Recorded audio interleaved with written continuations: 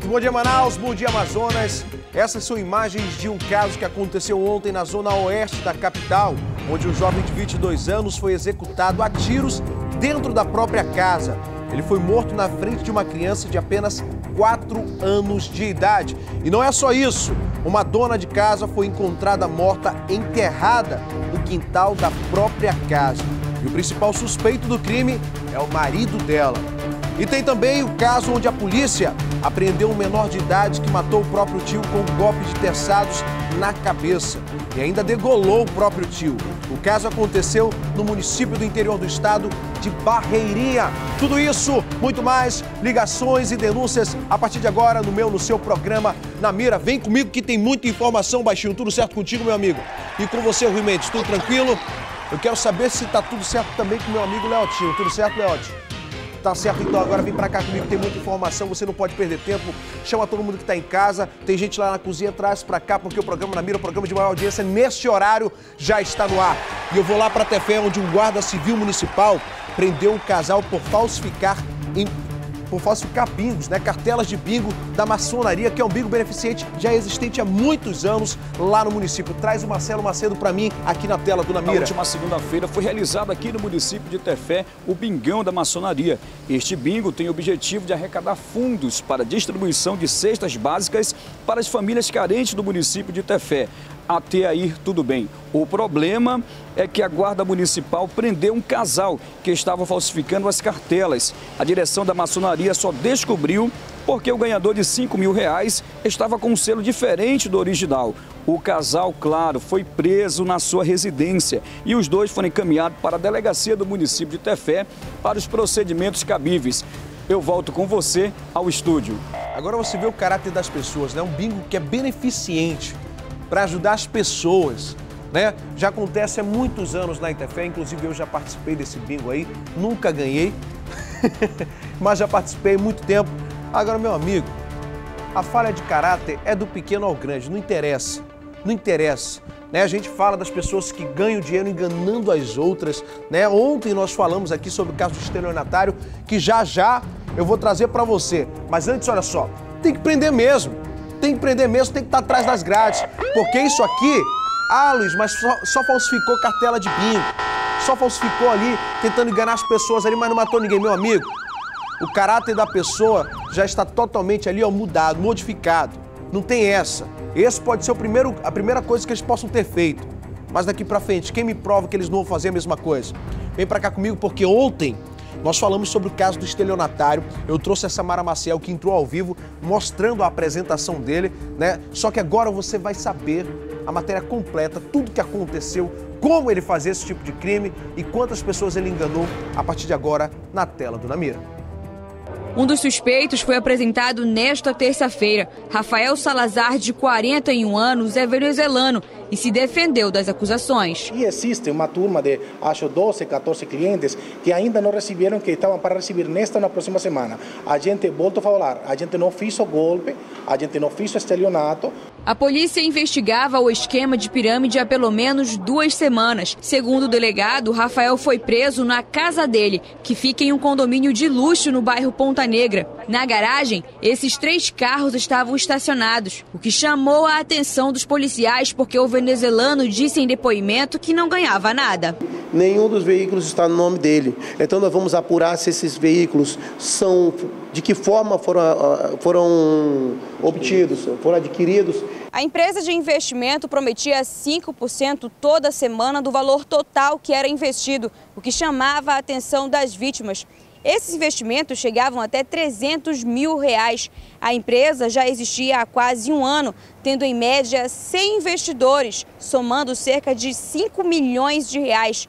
Dez vítimas vieram até a delegacia prestar queixa. Esta vítima, que não quis mostrar o rosto, investiu 65 mil reais em agosto deste ano e não recebeu nada de volta. Me convenceu a colocar 65 mil reais e, inclusive, eu convidei um primo meu porque achei que pudesse ser interessante. Agora a polícia procura pelo outro sócio, André Luiz Ataíde Gomes, que não foi encontrado.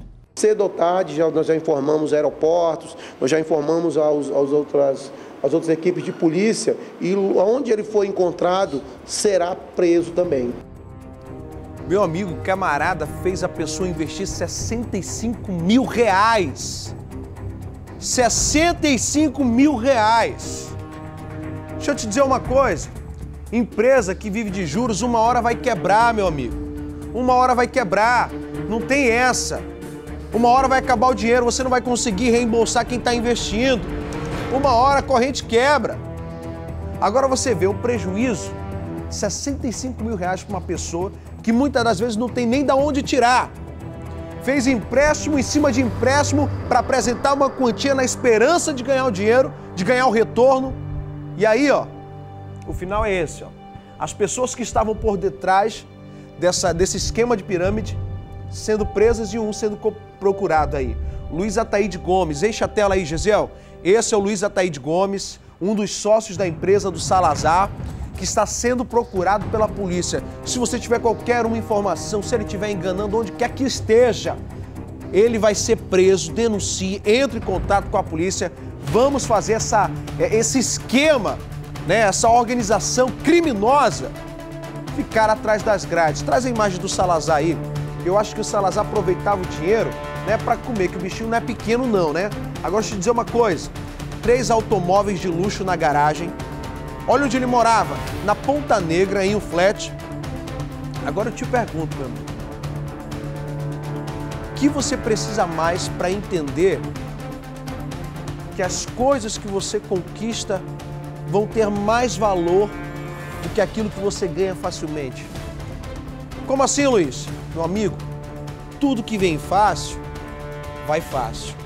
Agora, quando você trabalha duro, quando você rala, quando você trabalha de verdade para conquistar as suas coisas, seus objetivos, possa ter plena certeza de que a sua satisfação vai ser eterna.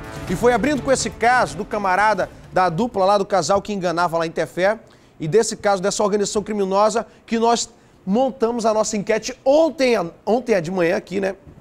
Perdão. Coloca a tela aí.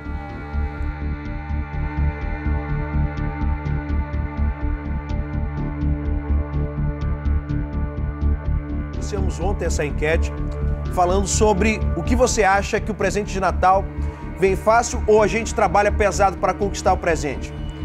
Por quê? Porque diversas pessoas entraram nessa, nesse esquema de pirâmide pela seguinte questão: eu vou conseguir muito rápido, eu vou ter um retorno muito rápido e eu posso, claro, conquistar as coisas de forma muito rápida. E foi pensando nisso que nós montamos essa enquete. Inclusive, 338 pessoas participaram da enquete. Nós temos aqui diversos comentários, tá bom? E 96% das pessoas disseram: Eu vou conquistar o meu presente de Natal trabalhando pesado. É só assim, minha gente. As coisas vão ser mais satisfatórias quando nós estivermos trabalhando para isso. Trabalhando para isso.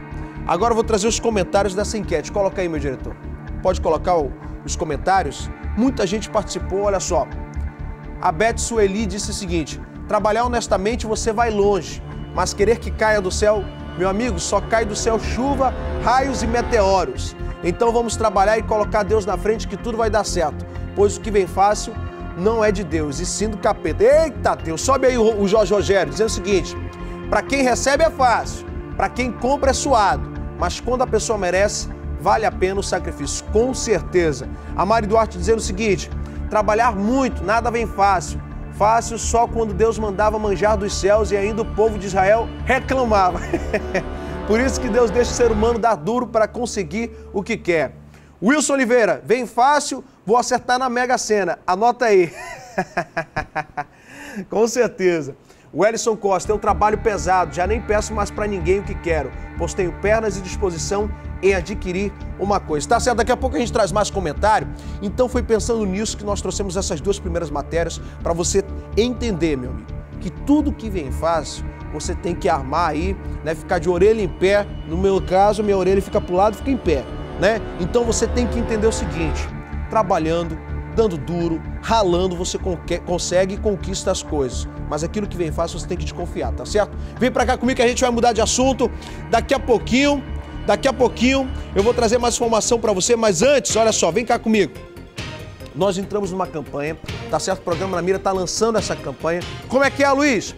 Você mandar uma mensagem de fim de ano para as pessoas que você ama, para as pessoas que você quer o bem. Como é que você vai fazer? Você vai fazer o seguinte, você vai pegar o seu celular aqui, ó, vai fazer um vídeo selfie, dizendo assim, olha só, eu sou o Anderson Tavares, sou aqui do Alvorado, quero mandar um abraço para todo o povo do Amazonas, desejo um Feliz Natal e um próspero Ano Novo e enviar para cá no 99327 6649, porque a gente vai colocar aqui na tela do Namira a sua mensagem de fim de ano. Tá certo? Então faz o seguinte, grava o seu vídeo selfie e manda agora no 99327-6649. Nós já estamos recebendo o vídeo. Inclusive, meu diretor disse que já tem muito aqui. A partir de sexta-feira, a gente começa a lançar aqui no programa Mira. Tá certo? Vem cá comigo, meu diretor. Eu vou pro intervalo agora. Ah, tá certo então. Olha só, daqui a pouquinho eu vou trazer para vocês uma matéria falando sobre uma casa, né? Não é isso, meu diretor? Uma casa que foi invadida lá no bairro da Compensa, meu. Meu povo, é já já que eu conto essa história. Tá certo? Ainda tem mais, meu diretor? Tá certo, o corpo de uma mulher que foi encontrada no quintal da casa dela. Isso daí repercutiu muito aqui em Manaus. Vanderlei Modesto foi lá e traz todos os detalhes dessa situação aqui para você. Tudo daqui a pouquinho no próximo bloco. Eu vou pro rápido intervalo. Já já eu volto. Não sai daí.